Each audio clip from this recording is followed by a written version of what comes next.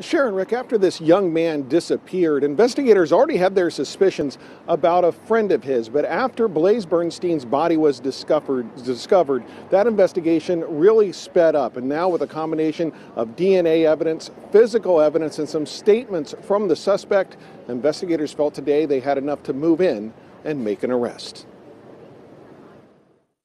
This is the man investigators with the Orange County Sheriff's Department believe was the last person to see 19 year old Blaze Bernstein alive, and now they think they know why. Today at approximately 1:15 p.m., we arrested Samuel Lincoln Woodward, 20 of Newport Beach, on suspicion of homicide. Bernstein, who was home on winter break from the University of Pennsylvania, disappeared from his parents' Lake Forest home more than a week ago. Investigators say Woodward, a former classmate of Bernstein's at Orange County School of the Arts, admitted to picking Bernstein up at his home the night of his disappearance. But he told investigators when they went to Borrego Park, Bernstein walked off, supposedly, to see another friend, and that he never saw him again. A week later, after multiple searches of the park, Bernstein's body was found.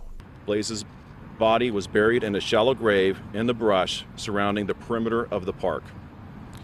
Based on the condition of the body at the scene, the investigation evolved from a missing person case to a homicide investigation. Based on inconsistencies in the story of the friend, our investigators focused on this individual as a person of interest in the homicide of Blaze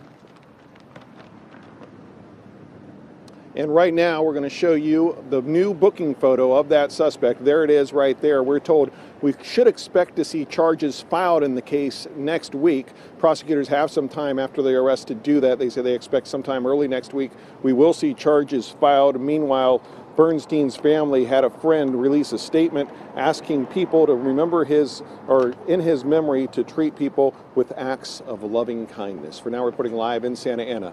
I'm Chip Yost, KTLA 5 News. All right, Chip, we thank you for